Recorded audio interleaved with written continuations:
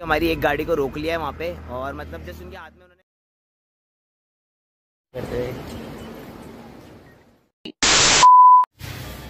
so hi guys welcome back to my another blog और आज है ट्वेंटी फिफ्थ मतलब हमारा गोवा का थर्ड डे है। मतलब हमने कल काफ़ी कुछ घूमा, परसों भी हमने काफ़ी कुछ कवर कर लिया था।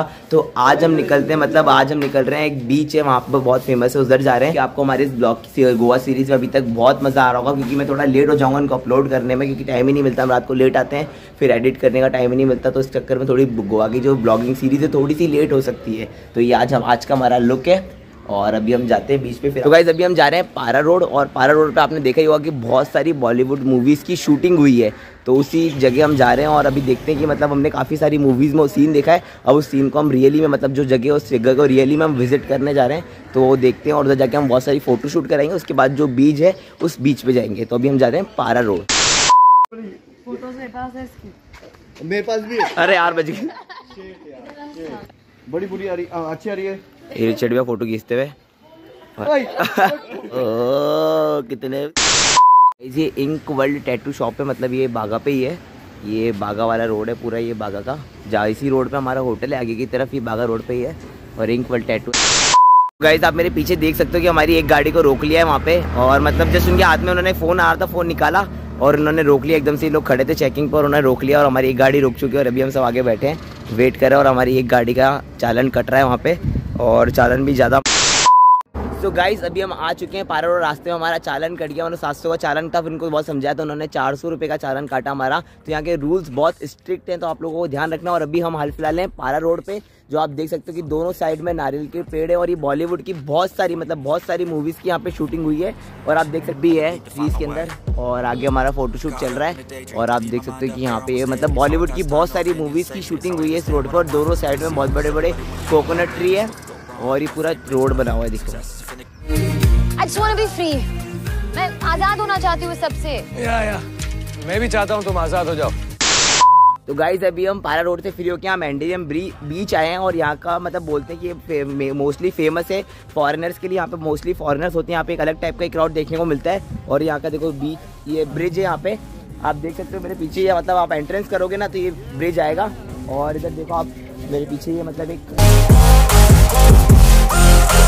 बागा बीच से बहुत सही बीच है। अभी हमने बाहर पीछे टेबल्स लिए हैं और अभी हम वहाँ बैठे थे और अभी हम थोड़ी देर पानी में जा रहे हैं, मस्ती करने। पानी में मस्ती करेंगे हम थोड़ी देर क्योंकि बहुत आप देख सकते हो, बहुत पीसफुल माहौल है, शांत माहौल है और ज़्यादा कोई लोग नहीं यहाँ पे बागा में बहुत सारी भीड़ होती है और मतलब बागा से 20 किलोमीटर दूर पड़ता है। बड़, बहुत बढ़िया माहौल है यहाँ का। आप यहाँ पे भी ज़रूर आना।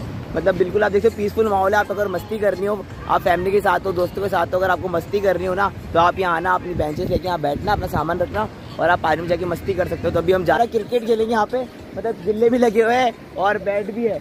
तो यहाँ पे बॉल लेके और अभी हम हमारा क्रिकेट स्टार्ट करते हैं। और आप देख सकते हो पीछे मैंडियम बीच पे अलग ही माहौल है। फिर हम बहुत लंबा चक्कर काट के आए आगे से। तो उसके बाद आके हम थोड़ी देर यहाँ पे रेस्ट करें हम थोड़ी देर यहाँ पे घंटे डेढ़ घंटे यहाँ पे रेस्ट करेंगे। उसके बाद देखते हैं यहाँ पे आप देख सकते हो कि बीच क्लीनिंग टीम जो है वो काम कर रही है। मतलब सफ़ाई भी यहाँ पे रेगुलर हो रही है बीच पे। तो ये बीच काफ़ी अच्छा है और मतलब बीच ज़्यादा मतलब गाइस कभी मैंने जन्नत तो नहीं देखी बट मैं इतना ज़रूर कहूँगा कि हाँ गोवा किसी जन्नत से कम नहीं है। तो मतलब आपके यहाँ की हवाओं में ही जादू आप ये कह सकते हो कि यहाँ की हवाएँ इतनी अच्छी ना कि आपको इतना सुकून मिलता है रिलैक्स मिलता है। अपने आप मतलब अगर आपका सिर भी दुख रहा होगा ना तो आप इतना रिलैक्स फील करोगे यहाँ पे। मतलब अभी हम बीच पे आके बैठे थे और हमने पानी में बहुत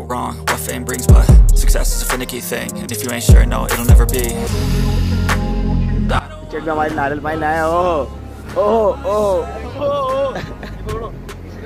हमारा कल का जो दिन था, वो वाटर स्पोर्ट्स के लिए था बट क्या हुआ कि एक्चुअली में यहाँ पे मौसम बहुत ज़्यादा ख़राब है हाईटाइट्स आ रही है, अभी भी देख सकते हो, यहाँ पे पर्दे टू एक दो दो पर्दे टूट भी गए तो इस चक्कर में क्या हुआ, सारी वाटर राइडिंग बंद कर रखी है।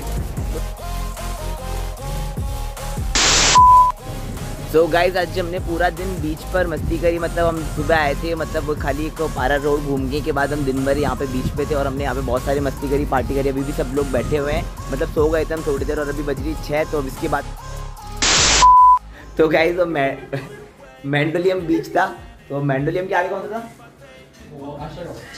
आशा गाँव कहाँ गया बता ना मैंडोलियम के आगे कौन है यार। सिक्किम। बीच कौन सा आ गया? सिक्किम बीच है अगोड़ा तो कल परसों गए थे अपन। तो मेरे को नाम याद नहीं रहता गाइस तो नहीं मेरा मज़ाक उड़ा रहे पता नहीं कौन सा था वो। अभी जिस मैंडलियन भी गाइस बीच के नाम इतने खतरनाक है ना याद ही नहीं रहते हमारे को। तो मैंडलियन भी मैंडलियन या मैंडोलियन मेडिलियम मेडिलियम के ऊपर की साइड था अलम्बोर और मेडिलियम के नीचे जो था वो था अपना वो मोर्जिन अच्छा तो गाइस आप समझ ही गए होंगे क्या बोला इसने। नाम मेरे को फिर याद नहीं हुए तो जो भी ये हम रेडी होके वापस निकले हमारे रूम से। अब जाते हैं हम वापस कहीं घूमने के लिए। तो आपको दिखाते हैं अब हम कहाँ जा रहे हैं। तो गाइज़ वहाँ से फ्री होने के बाद हम यहाँ पे आए हैं सेक्वेरियम बीच जो कि हमारे मतलब बागा से छः सात किलोमीटर था मतलब ऐसा कुछ खास बीच नहीं है बट हाँ हमारे होटल से पास ही था और अभी हम फ्री हो गए थे मतलब हम रूम पे क्या करते, इस चक्कर में हमने सोचा कि इसको भी कवर कर लेते हैं तो आपको दिखाते हैं सेक्वेरियम बीच तो अभी देखो मैं प्री विंटर पहन के आया हूँ मतलब क्योंकि यहाँ पे रात के टाइम में थोड़ी, अगर आप जनवरी के टाइम में आते हो ना तो यहाँ पे रात के टाइम में थोड़ी सर्दी बढ़ी जाती है। तो हम अभी आए थे ना वहाँ से तो हमारे को ठंड लग रही थी, इसलिए मैं प्री विंटर पहन के आऊँ और यहाँ पर हवाएँ तेज चलने जाती बीच के पास। तो अगर आप जनवरी के टाइम आते हैं तो अपने गर्म कपड़े भी ज़रूर कैरी करके लाएँ क्योंकि रात के टाइम पे यहाँ पे सर्दी हो जाती है तो ज़्यादा नहीं बस प्री विंटर ही तक ही लेके आए जितनी सर्दी रहती है यहाँ पे। तो अभी हम आगे चलते हैं बीच उधर है फोर्ट है। अबे ये पिक्चरों में आता है देखा नहीं है कभी? ये पिक्चर में आता है? क्या मस्त लग रहा है यार। Oh wow. और रहे हो भाई गजब आ जाओ आ जाओ यार। अबे यार। गाइस आप देख सकते हैं कि वहाँ पे बागा कलंगुट और सबसे आखिरी बीच जो नॉर्थ का है ना वो ये और यहाँ पे एक फोर्ट बना हुआ है। और ये फोर्ट की वॉल है और यहाँ पे देखो आप। Every move was on the page, but I didn't like their way. देख सकते हो कि आप यहाँ पे पूरा देखो समुद्र समुद्र फोर्ट बन रहा है यहाँ पे एक होल्ड कुछ खास नहीं है ये कि हाँ मतलब यहाँ पे ज़्यादा लोग भी नहीं है बट हाँ एक मतलब हमारे रूम के पास था तो हमने सोचा कि इसको भी विज़िट कर लेते हैं कवर कर लेते हैं क्योंकि हमने आज दिन भर बीच में मस्ती करी थी और यहाँ पे मेरे पीछे आज हम ज़्यादा कुछ कवर नहीं कर पाए। मतलब हम सुबह वहाँ गए थे पारा रोड उसके बाद हम बीच पे गए थे बट एक मिस्टेक हो गई कि अभी हमने देखा कि दीपक कलाल ने एक रील डाली है और वो उसी बीच पे था जिस बीच पे आज हम गए थे। और मतलब हमने क्या जिस फॉरेनर के साथ उन्होंने डाली जिनके साथ वो बीच पे डांस कर रहा था वो फॉरेनर को हमने वहाँ ही देखा था। मतलब हमने देखा था मतलब आज आपको हम दीपक कलाल से मिलाते बट आज मिस हो गया हमारे से। बट कोई नहीं बट कोई नहीं गाइस आपको आई होप कि इस ब्लॉग में बहुत मज़ा आया होगा। अगर आपने वीडियो लाइक नहीं किया तो लाइक कर देना। चैनल को सब्सक्राइब नहीं किया तो सब्सक्राइब करना। मिलते थे अगले ब्लॉग में।